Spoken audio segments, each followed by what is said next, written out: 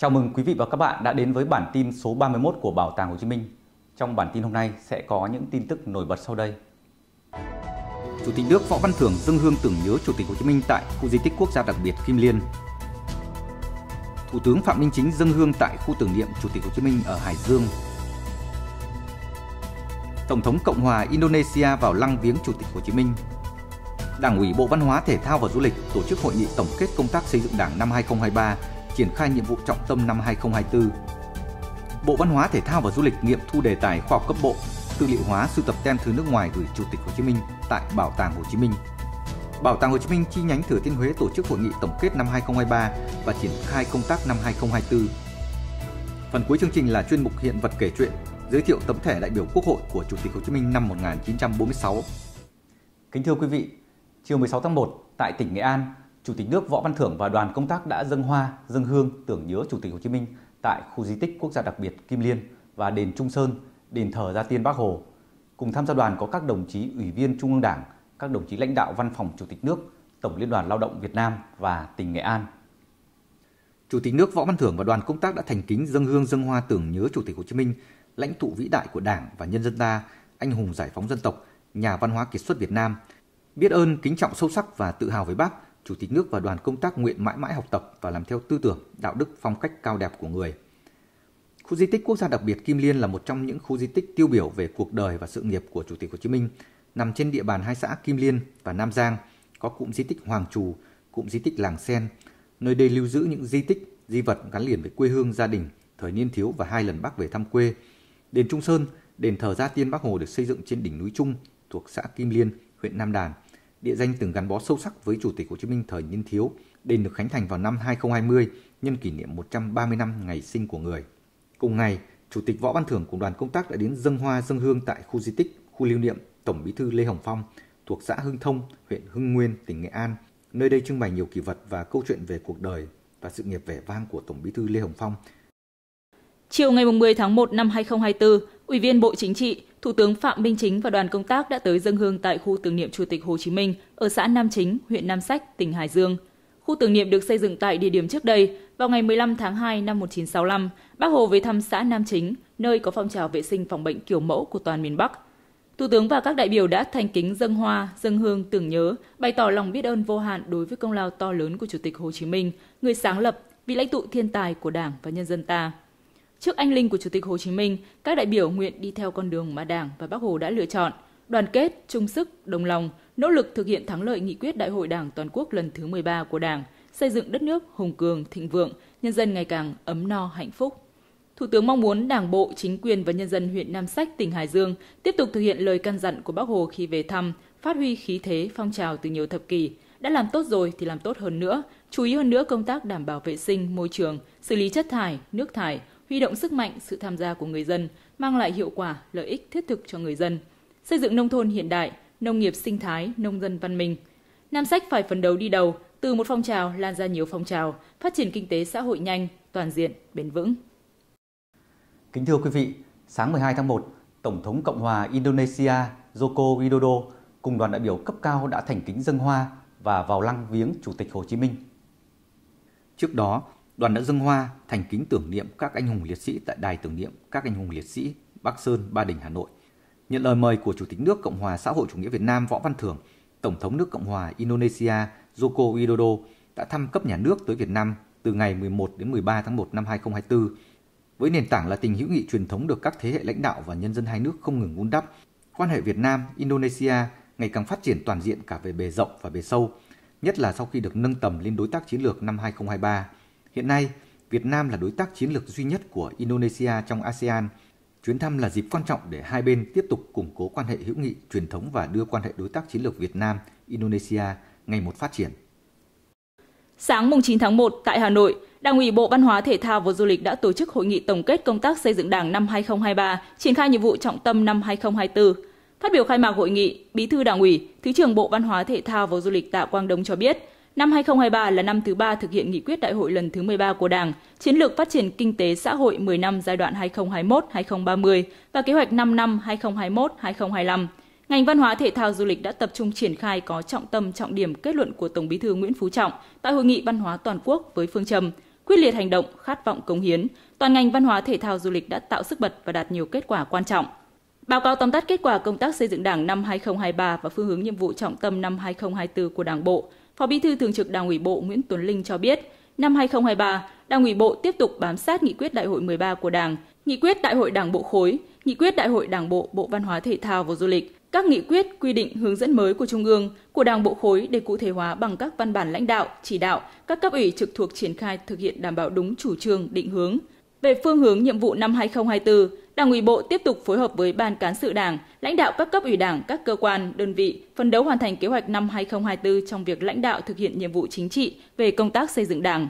Phát biểu chỉ đạo hội nghị, thay mặt Đảng ủy khối các cơ quan trung ương, đồng chí Hà Thị Trang, trưởng ban tuyên giáo Đảng ủy khối đánh giá cao những nỗ lực, cố gắng cùng những kết quả mà Đảng bộ Bộ Văn hóa Thể thao và Du lịch đã đạt được. Đồng chí Hà Thị Trang cũng mong muốn trong năm 2024, Đảng bộ Bộ Văn hóa Thể thao và Du lịch sẽ khắc phục triệt để những tồn tại, hạn chế như đã nêu trong báo cáo, đồng thời cũng gợi mở những nhiệm vụ giải pháp trọng tâm mà Đảng bộ Bộ Văn hóa Thể thao và Du lịch cần thực hiện trong năm 2024. Toàn bộ Đảng bộ Bộ Văn hóa Thể thao và Du lịch cần căn cứ tình hình thực tiễn làm tốt hơn nữa công tác chính trị tư tưởng, giữ vững kỷ luật, kỷ cương, sự năng động, sáng tạo, hoàn thành xuất sắc nhiệm vụ được giao.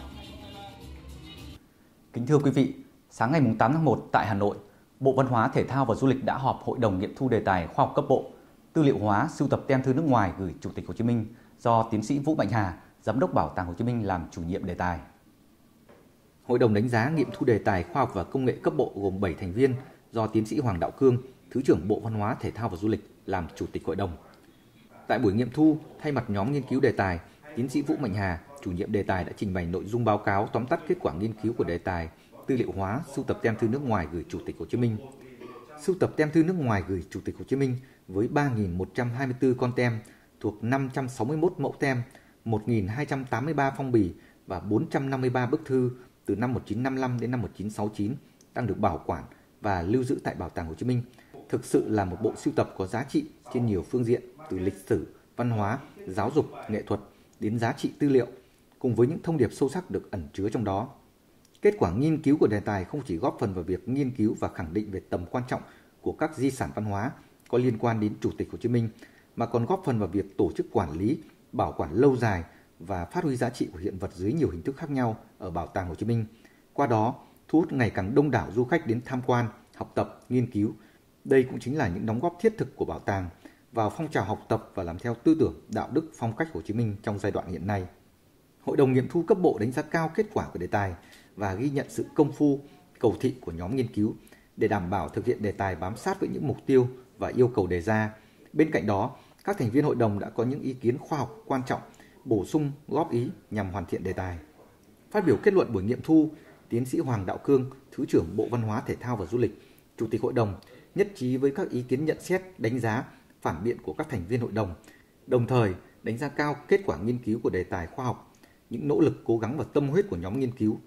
Chủ tịch hội đồng đề nghị nhóm nghiên cứu tiếp thu các ý kiến phản biện, góp ý, nhận xét của các thành viên hội đồng để tiếp tục chỉnh sửa, bổ sung, hoàn thiện đề tài trước khi trình Bộ Văn hóa Thể thao và Du lịch ra quyết định công nhận kết quả nghiên cứu.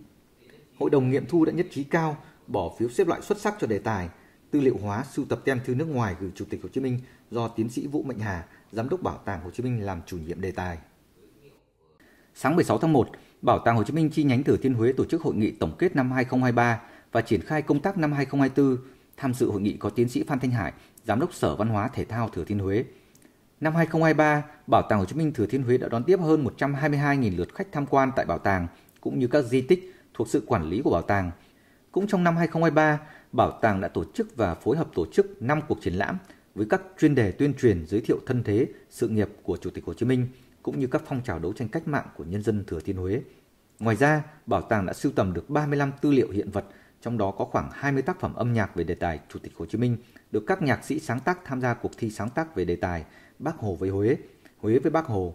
Sưu tầm được một số hiện vật có giá trị liên quan trực tiếp đến Chủ tịch Hồ Chí Minh như băng để tang Bác Hồ năm 1969, huân chương chiến sĩ vẻ vang có chữ ký của Chủ tịch Hồ Chí Minh. Cùng với đó đã số hóa tài liệu hiện vật tại kho cơ sở trên 1.000 tư liệu hiện vật. Lãnh đạo Bảo tàng Hồ Chí Minh Thừa Thiên Huế cho hay, năm 2024, bảo tàng phấn đấu đón trên 125.000 lượt khách tham quan bảo tàng và các di tích, trong đó có từ 8.000 đến 9.000 lượt khách nước ngoài. Kính thưa quý vị, sinh thời, Chủ tịch Hồ Chí Minh đã có những đóng góp to lớn trong việc xây dựng Quốc hội và nhà nước pháp quyền xã hội chủ nghĩa Việt Nam. Những định hướng của Chủ tịch Hồ Chí Minh trong việc xây dựng thể chế Quốc hội nói chung, trong công tác bầu cử Quốc hội nói riêng đã trở thành di sản vô giá. Dù ở cương vị ứng cử viên, đại biểu Quốc hội hay cử tri, người đều để lại những dấu ấn sâu đậm trong lòng dân tộc về tinh thần, trách nhiệm của một người công dân đối với đất nước. Nhân kỷ niệm 78 năm ngày tổng tuyển cử đầu tiên bầu Quốc hội Việt Nam, mùng 6 tháng 1 1946, mùng 6 tháng 1 2024, trong chuyên mục hiện vật kể chuyện ngày hôm nay, chúng tôi xin trân trọng giới thiệu đến quý vị và các bạn thẻ đại biểu Quốc hội của Chủ tịch Hồ Chí Minh năm 1946. Tấm thẻ thể hiện quyền công dân, quyền tự do, dân chủ và sứ mệnh lớn lao của người. Sau khi cách mạng tháng 8 thành công, trong bối cảnh chính quyền non trẻ gặp muôn vàn khó khăn, thử thách như ngàn cân treo sợi tóc, giặc đói, giặc rốt, giặc ngoại xâm đang ra sức hoành hành. Chủ tịch Hồ Chí Minh đã đề nghị chính phủ lâm thời tổ chức sớm một cuộc tổng tuyển cử với chế độ phổ thông đầu phiếu và bầu ra quốc hội, cơ quan cao nhất đại diện cho ý chí, nguyện vọng và quyền làm chủ của nhân dân, thay mặt nhân dân giải quyết những vấn đề hệ trọng của đất nước. Tổng tuyển cử ngày 6 tháng 1 năm 1946 thực sự là ngày hội lớn của cả nước. Lần đầu tiên trong lịch sử, nhân dân được thực hiện quyền công dân của mình, tự tay bỏ phiếu bầu ra những đại diện vào cơ quan quyền lực cao nhất của nhà nước tại Hà Nội. Với tư cách một cử tri của nước Việt Nam độc lập, Chủ tịch Hồ Chí Minh đã tham gia bỏ phiếu tại nhà số 10 phố Hàng Vôi, nay thuộc phố Lý Thái Tổ. Sau đó, người đi thăm một số phòng bỏ phiếu ở phố Hàng Bạc, Hàng Gai, Hàng Trống, Thụy Khuê. Người đưa ra lời kêu gọi, khuyên đồng bào nam nữ 18 tuổi trở lên, hôm nay tất cả đều đi bỏ phiếu để bầu ra những đại biểu xứng đáng vào quốc hội đầu tiên ở nước ta. Thực hiện lời kêu gọi của Chủ tịch Hồ Chí Minh, hơn 90% tổng số cử tri đã đi bỏ phiếu. Cuộc tổng tuyển cử đã hoàn toàn thắng lợi, bầu được 333 đại biểu.